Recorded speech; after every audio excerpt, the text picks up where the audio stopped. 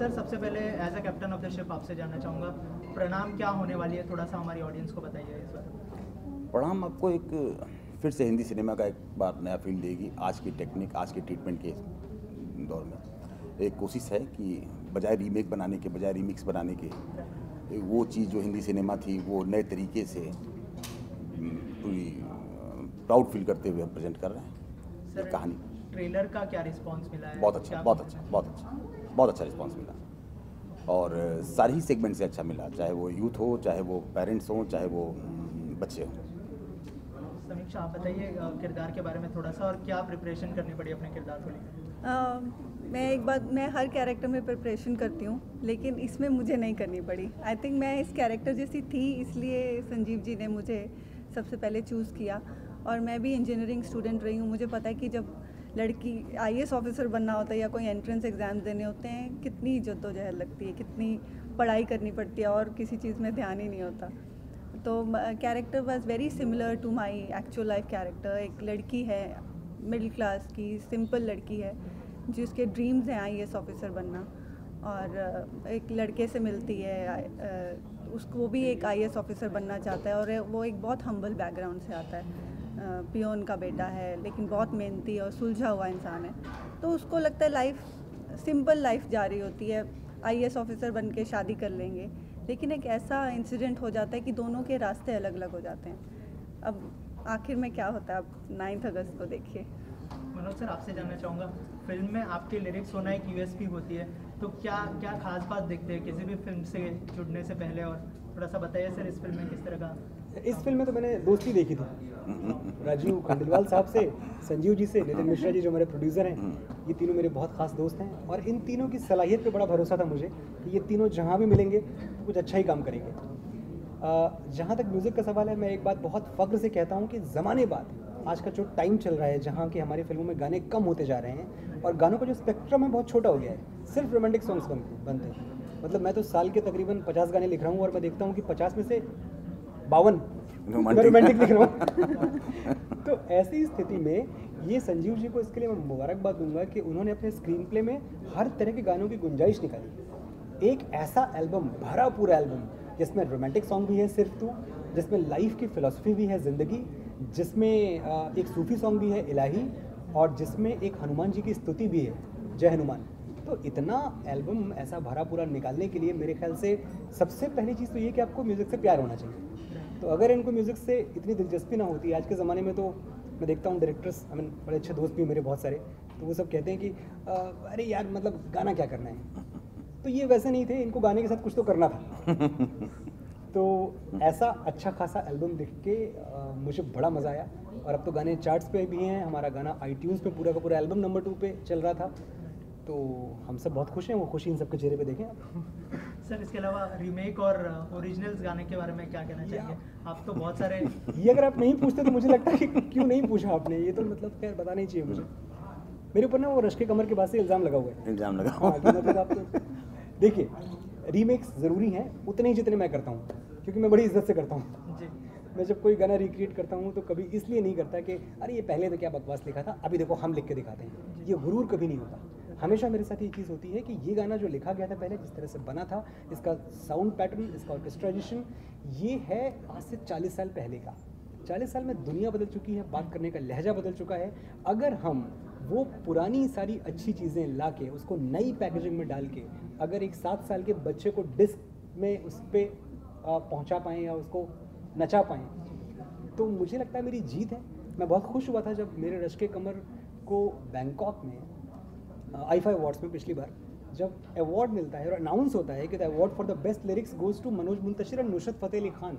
तो I felt proud कि खान साहब को इस दुनिया से कूच किए हुए 20-25 साल हो चुके हैं। 20-25 साल के जाने के बाद उनके इंतकाल के बाद अगर उनको एक स्टेज पे एक इंटरनेशनल प्लेटफॉर्म पे उनका नाम लिया जा रहा है और उनको एक ट्रॉफी दी जा रही है उनके नाम पे तो मुझे इसमें कोई शर्मिंदगी कभी नहीं हुई। मैं बड़ा प्राउड रहा कि मैंने नुसरत फतेह अली खान साहब के और कुछ लेजेंड्स के गाने रिक्रिएट किए। इनवेरिएबली हंड्रेड परसेंट हिट हुए हैं। मतलब एक भी ऐसा नहीं बता सकते आप कि आपने लिखा और हिट नहीं हुआ। राइट तो एक चीज़ खाली कहूँगा कि this should not become a norm ये तभी तक अच्छा है जब तक सौ में दस या पंद्रह हो रहा है। जिस दिन आप हर गाना रिक्रिएट करने लगे उस दिन मुश्किल है और मैं बहुत खुश हूँ कि वापस वो दौर ओरिजिनल्स का फिर से आने लगा है। प्रणाम पूरा का पूरा एल्बम ओरिजिनल है। कबीर सिंह जो मेरी फ़िल्म है पूरा का पूरा एल्बम ओरिजिनल था। हमने एक भी गाना रिक्रिएट नहीं किया। तो अगर प्रणाम के गाने वर्क करते हैं अगर कबीर सिंह के गाने वर्क करते हैं मतलब एक बात की गारंटी है कि लोग नया सुनने को भी तैयार हैं। बट मनोज सर ये भी एक बात है कि अक्सर लोग अभी कहने लगे कि आजकल recreation is like a shortcut मतलब हम पुरानी मेलोडीज उठा के हम डाल देते हैं उसी वजह से कई बार क्रिटिसाइज भी होता है। So what's your take on that जैसे आपने खुद ही कहा कि नॉर्म होना चाहिए। सौ में से जब दस पंद्रह आते हैं तो ही बराबर है नहीं तो वो होता है रिपीटेड हो so what's your take on that देखिए शॉर्टकट से ज़्यादा मैं ये कहूँगा कि दुनिया में ऐसा कुछ भी नहीं है जो चल रहा है और उसके लिए जनता ज़िम्मेदारी न ले। मुझे याद आता है जब खलनायक में बख्शी साहब आनंद बख्शी साहब लेजेंडरी राइटर हैं उन्होंने जब चोली के पीछे क्या है लिखा था और उनको बहुत फ्लैग किया गया था कि आपने ये क्या लिख दिया इतने बड़े गीतकार हो के चोली के पीछे क्या है तो उन्होंने संजीव जी एक बात कही थी कि इसी फ़िल्म में एक गाना और भी था कि माँ। माँ ऐ माँ तुझे माँ, सलाम हाँ। तुझे प्यारे सारे बच्चे हाँ, बहुत वो रावण हो या राम उस गाने को तो किसी ने सुना नहीं सुना भी नहीं तो आप सुन रहे हैं रिक्रिएशन इसलिए हम बना रहे हैं। तो इसे आप शॉर्टकट कह लें या इसे कुछ भी कह लें लेकिन ये ज़िम्मेदारी जितनी हमारी है लिखने और गाने बनाने वालों की उतनी ज़िम्मेदारी आप सुनने वालों की भी है। सर एज ए डायरेक्टर आपसे जानना चाहूँगा कैसा एक्सपीरियंस रहा? राजीव है समीक्षा है फ़िल्म में आपका एक्सपीरियंस कैसा रहा उनके साथ काम वैसे तो बड़ा घिसा पिटा सवाल है आता है कि अच्छा ही था। लेकिन हाँ अब की बहुत अच्छा रहा कि जो एक्चुअल में जो बात राजीव जी ने कही कि हम ये इस फ़िल्म के थ्रू एक ट्रिब्यूट दे रहे हैं क्लासिकल एरा को कि वो हिंदी सिनेमा जिसके अंदर रिश्ते होते थे जज्बात होते थे म्यूज़िक होता था संगीत होता था सारी चीज़ें। ये- होते थे। डायलॉग्स होते थे कि जिनको आप वर्षों याद रखते थे है ना? उन डायलॉग्स पे आज के ज़माने में मीम्स बनते हैं उस समय उन डायलॉगों में प्रोडक्ट की एडवर्टाइजिंग के लिए कंपेन बनते थे।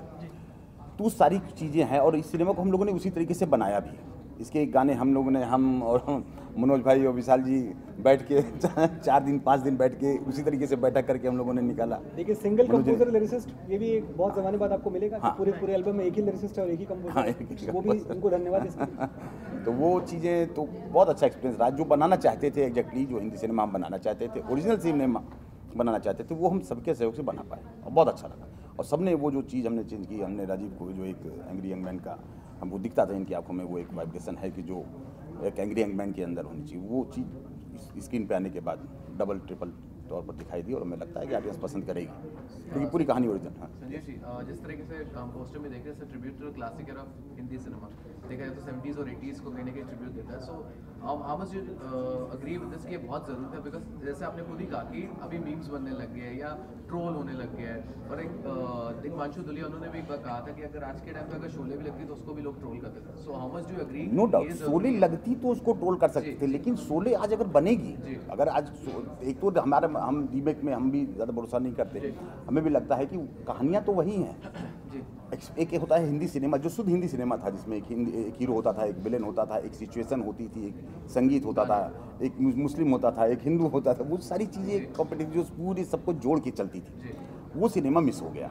हम एक्सपेरिमेंट के नाम पे बहुत ज़्यादा कॉम्पैक्ट होते चले जा रहे हैं। ड्रग तो खाली ड्रग्स मतलब आई मीन पहले का कोई भी सिनेमा उठा के देखिए दीवार तो, तो, तो इसी वजह वही वजह थी कि पहले दस में से आठ सिनेमा हिट होते थे। आज दस में से दो सिनेमा हिट होते हैं। हम्म, हम्म। ठीक है ना? तो हमें लगता है कि ट्रोल होना जो सवाल किया आपने कि सोले आज लगती आज लगती की सवाल नहीं उस समय बनी हुई उस उन टेक्निक्स के दौर पर उन लेकिन अगर वो सोले आज लिखी जाएगी हम्म, हम्म। तो आज के हिसाब से लिखी जाएगी। लेकिन वो जज्बात वो फील वो दोस्ती वो यारी है ना? वो सारी चीज़ें वो रहेंगी वो हमेशा वर्क करेगी। और वही कारण है साउथ आज भी इसी पे जी रहा। हम्म। साउथ में आज भी जो यहाँ का एट्टीज़ का जो सिनेमा था वही साउथ राउडी राठौर वही है। वही सिंगम है वही है। ऑलवेज हिट है। तो पब्लिक को तो चाहिए लेकिन हाँ ठीक है एक नई चीज़ें एक्सपेरिमेंट होनी चाहिए। और कर रहे हैं लोग लेकिन हमारा हमने कोशिश की है कि और पूरी तरीके से इसीलिए बिल्कुल क्लेम किया है कि कल को आप ये ना कहिए कि हमने आपको कुछ पुरानी चीज़ दिखाई या ऐसा पहले हीरो देखा करते थे मज़ा आता था। हाल से निकलते थे तो हम लोग दूसरी दुनिया में रहते थे। जब कॉलेज बंक करके पिक्चर देखा करते थे सबको डर भी रहता था टीचर का भी फादर का भी। लेकिन उसके बाद निकल के आते थे तो लगता था कि सारा दुनिया जीत ली बच्चे साथ बस तो खुश तो बहुत हो गए। खुश तो बहुत हो गए तो। देखिए एक चीज़ है ये वो जो- जी संजीव जी के बारे में बता दूँ ये बहुत बड़े अमिताभ बच्चन फ़ैन है ये। मतलब इतने बड़े वाले कि इनके साथ आप अगर एक कमरे में बंद हो जाएँ तो आपको थोड़ी देर बाद ये गुमान होने लगेगा कि आप अमिताभ बच्चन के साथ बंद हैं। तो ज़ाहिर सी बात है कि इनका जो प्यार था उस एरा के सिनेमा के लिए वो आपको प्रणाम के हर सीन में नज़र आएगा। मैं ये नहीं कह रहा कि उसको कुछ कॉपी करने की या रिक्रिएट करने की कोशिश की गई है लेकिन हाँ ट्रिब्यूट तो है।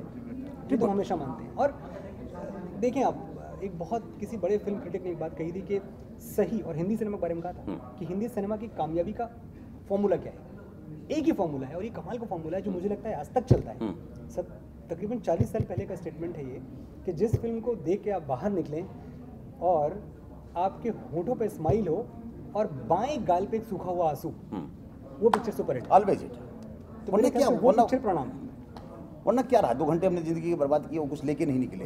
पॉपकॉर्न खाया निकल के आगे बाहर। और उसकी एक्टिंग की अगर बात करने लगे हम तो आज किसी बात हो रही टेक्निक की बात कर रहे हैं। एक आम ऑडियंस टेक्निकोलॉजी की बात करता है। क्यों? एक्टिंग की बात कर रहा है। अरे तुमको कैसे पता एक्टिंग क्या होती? है हम लोगों को पता है कि एक्टिंग कैसी होती है। तो लेकिन वो इसलिए वो प्रॉब्लम इसलिए आ रही वो कहानी में नहीं घुसता। वो वो- उसके इमोशंस में नहीं जा पाता। वरना दिखना ही नहीं चाहिए। ट्रू पहले के सिनेमा में आपको कभी याद है कि कोई तार आपको दिख रहा हो? पहले तो वी नहीं था। कभी आप किस कभी नोट किया आपने कि आपको दीवार में तार दिखा?